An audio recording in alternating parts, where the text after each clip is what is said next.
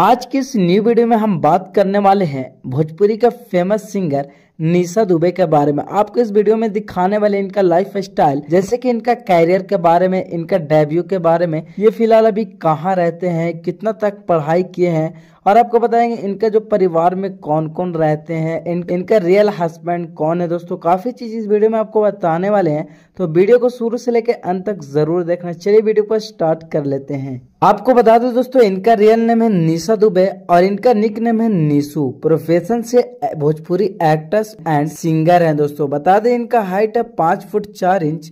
आँखों का रंग है काला और इनका बालों का रंग है काला दोस्तों।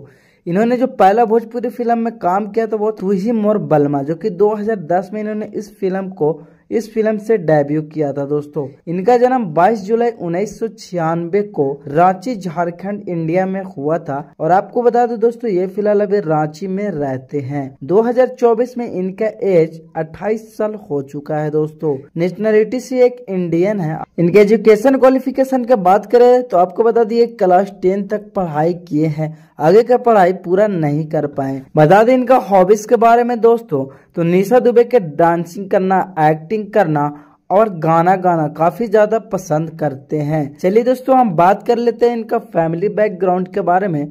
तो आपको बता दो दोस्तों, इनका फैमिली में रहते हैं फादर आप देख सकते हो फ़ोटो इनका फादर का नाम इन्होंने शो नहीं किया। एंड आप इनका एक भाई भी है दोस्तों, ये देख सकते हो फ़ोटो इनका भाई का नाम है रोशन दुबे। एंड आपको बता दें, इनका दो सिस्टर भी रहते हैं। आप देख सकते हो फ़ोटो चलिए दोस्तों, बात कर लेते हैं इनका फेवरेट भोजपुरी एक्टर के बारे में। तो वो है दिनेश लाल यादव और अरविंद अकेला कल्लू।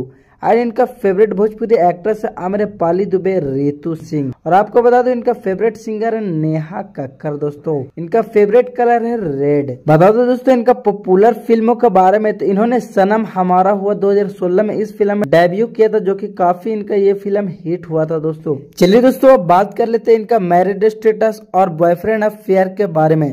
तो आपको बता दो, दोस्तों, इनका अभी तक शादी नहीं हुआ ये अभी अनमेरिड है। बॉयफ्रेंड का बात करें तो इनका अभी तक कोई भी बॉयफ्रेंड नहीं है दोस्तों, ये फ़िलहाल अभी सिंगल है। तो आपकी वीडियो कैसा लगा, नीचे कॉमेंट बॉक्स में ज़रूर बताना।